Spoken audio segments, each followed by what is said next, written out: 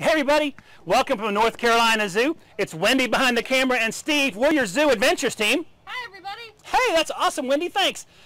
We're going to be discussing vultures with you guys today. Those amazing bald-headed birds, and when you see them, they're flying in those really big circles, catching thermals. Vultures. Check this out.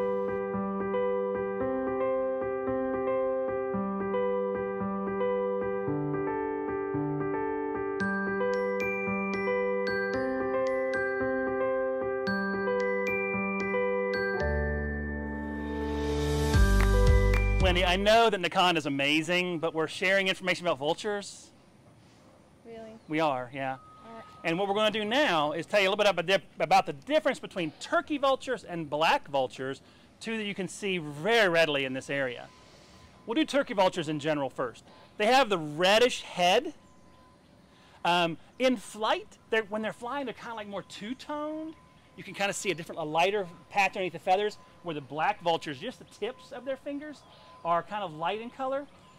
The turkey vulture is also a little bit bigger, and on a carcass, the turkey vulture is dominant, unless there's a lot of black vultures, and that's normally what happens. A lot, the black vultures are usually flocking together. So another way to tell the difference is to look at the numbers. Usually, if you have a large number of vultures, that's going to be your black vulture. Oh, another thing, black vultures hunt. Sometimes they hunt. Really? Where the turkey vulture, yeah. The turkey vulture, not so much. They're going to rely on their amazing sense of smell to find dead animals on the ground, carrion, and that's their primary diet. The black vultures, however, have learned that the turkey vulture has that amazing sense of smell, and they'll follow the turkey vulture. Pretty amazing. Black vultures and turkey vultures right here in North Carolina. Can I look at the elephant now? Yes. Thank you.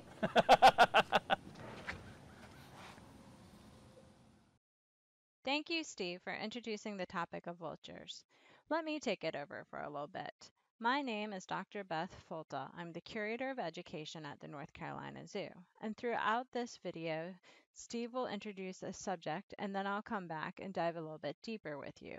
Let's get started with identification. To start off with, can you tell us which one is the turkey vulture and which one is the black vulture by looking at the pictures? I'll give you a second to see if you can figure it out. If you said the turkey vulture was the one on the left and the black vulture is the one on the right, you are totally correct. Good job. Um, now let's take a look at what helps us identify the difference between the two, just in case you didn't get it quite right. The first thing we look at is the color of the head. You'll notice on the turkey vulture it has a very red head, where the black vulture has a black head. The next thing that we're going to look at is the color of their beaks. Um, the turkey vulture has a white tip to its beak, while they consider the black vulture to have more of a bone-colored tip to its beak. Finally, if you look at the feathers, you'll notice that the turkey vulture has a mixture of black and brown feathers throughout, where the black vulture lives up to its name and just has sooty-colored black feathers throughout. All right, so looking at them sitting still in a close-up picture is a little bit easier than the way you're going to see them most of the time in the wild. Let's your, test your skills with this next picture. In this picture, one is a black vulture and one is a turkey vulture. Give you a second once again to see if you can figure out which is which. Take a close look. And once again, if you said the turkey vulture is the one on the left and the black vulture is the one on the right, you are correct. Nice job. A couple of things to look for when we're looking at them up in the sky, which is once again the most common way that you're going to see them. First thing, look at their wings. The turkey vulture has what we considered a two-tone wing. You'll notice those lighter feathers on the edge of the wing, while the black vulture, vulture just has a little bit of a lighter color on the tips of its wing. The next thing we want to look at is its tail. The turkey vulture has a longer tail, where the black vulture has a shorter tail. Basically, its tail is the length of where it holds its feet. It doesn't really get any longer than that. Finally, there are a few other things you can look for in their behavior as they're in the sky. turkey vultures soar for long periods of time. They can soar up to six hours even. And when they do decide to flap their wings, it's a very slow flap in comparison to the black vulture. Finally, the way it holds its wings is more of a V shape versus the black vulture holds its wings at an almost flat shape. And the turkey vulture is known to kind of teeter back and forth while it's soaring, and the black vulture does not do that. I forgot to mention, but black vultures are frequent flappers. You'll notice them flapping more periodically than truly soaring. So just keep that in mind because often you will see a mixture of both turkey and black vultures in the same kettle. All right, hopefully that helped you learn how to identify them a little bit better. We're going to join Steve and Wendy back at the park. So vultures as carrion eaters, carrion dead things, sometimes seen on the side of the road, animals in the wild. And look at this skull. That beak is what they use to tear in to that carrion, to those dead animals. Sometimes the first animals to get to a carcass are the vultures. Let's talk a little bit more about their diet now that Steve has introduced it. This is a turkey vulture, and this may be a common scene that you've seen before on the roads here in North Carolina.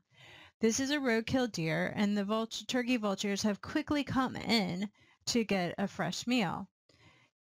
Turkey vultures do prefer carrion, so that means dead stuff. They like it fresh over something that's rotting, but will eat rotting if that's all they can find. They predominantly eat mammals because of course it's more a little bit more of a meal, but they will eat birds, amphibians, reptiles, or even invertebrates that they find. And occasionally, unfortunately, they do eat human garbage as well. So that's their main diet. On the other hand, here you have a black vulture. And as Steve mentioned, they do occasionally hunt. So their diet, while still mainly carrion, will also include additional things like they'll eat the eggs of other birds, turtles, lizards, the young of birds and sea turtles, and occasionally, this is the real hunting that they get involved in, will go after a newborn of a larger mammal. So livestock is a common one, or a groundhog, for example. So they aren't reliant 100% on carrion like the vulture, the turkey vultures are. Hope that helps you a little bit more with a diet. Now back to Steve.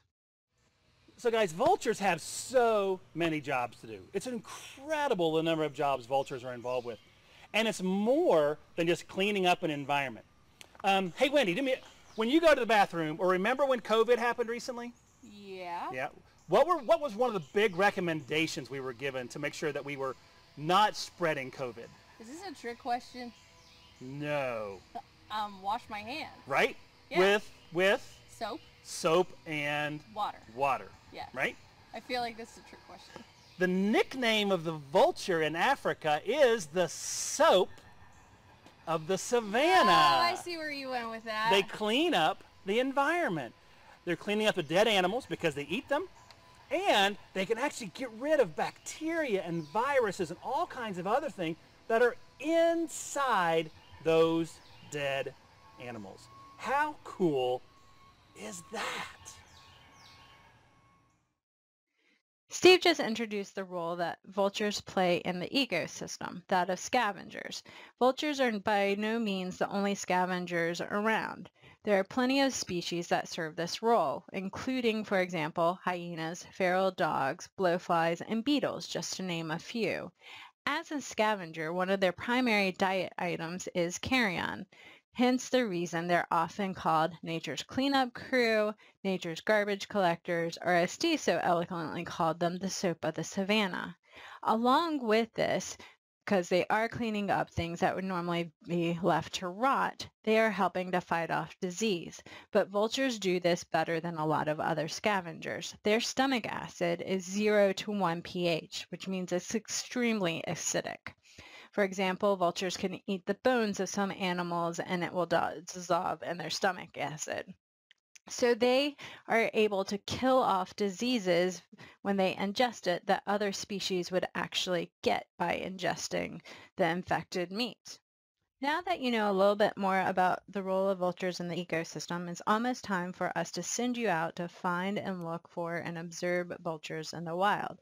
But, for, but before we do that, there's two things you should know. First, how to identify the species of vulture that you are watching.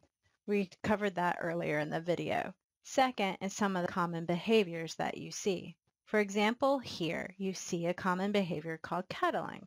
This is when a large group of vultures come together. It can be a mixture of both turkey and black vultures. They are riding the thermals to help them gain altitude. Thermals are hot air that raises off the ground, often in kind of a spiraling motion. That's the reason why it looks like the vultures are flying in circles or spiraling up into the air. Once they reach the altitude, the top altitude that they can, then they often go out and glide and soar, soar in search of food, as you see these two vultures here. Vultures are very efficient flyers. You'll notice that they very rarely actually flap their wings unless they're in an active flight trying to get from location to location. Instead, they glide and soar. Here you do see a couple of vultures moving from point A to point B in a flight motion where they're flapping their wings fairly frequently. They often do this as they're heading to roost for the night or coming from the roost in the morning. Roosting is another common behavior of vultures that you'll see. In the next clip, you'll notice a bird perched in a snag, a common roosting location. Normally, though, when they roost, they roost in large groups. So this is a, just a vulture taking a break for the day. Here is another vulture walking around on the ground. This is another behavior that you may see. They often come down to inspect stuff, checking to see if it's a food item. These were all the behaviors that we are able to show you with wild vultures, but Ziggy is flying in now. Ziggy is one of our animal ambassadors here at the North Carolina Zoo. He is a black vulture that was brought into a rehab center at a very young age. And unfortunately, Ziggy is imprinted on humans. In other words, he likes us a little bit too much. So he makes a great ambassador for his species and helps people understand the role of black vultures in the wild. Now he's going to help us show you the feeding behavior. Unfortunately, we weren't able to capture that in the wild, so he's going to do it right here for us now. At the North Carolina Zoo, one of the things that we do as part of providing the best animal welfare possible is provide our animals with something called enrichment. Enrichment is designed to mentally and physically stimulate animals. In this case, we're trying to encourage Ziggy to do his natural behaviors of ripping and tearing in order to get to a food source.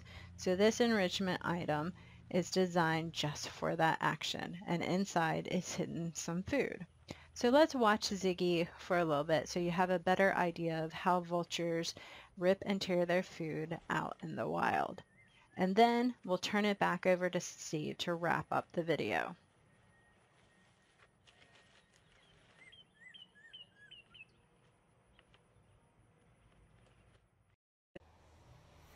So why is the North Carolina Zoo interested in vultures and trying to save them?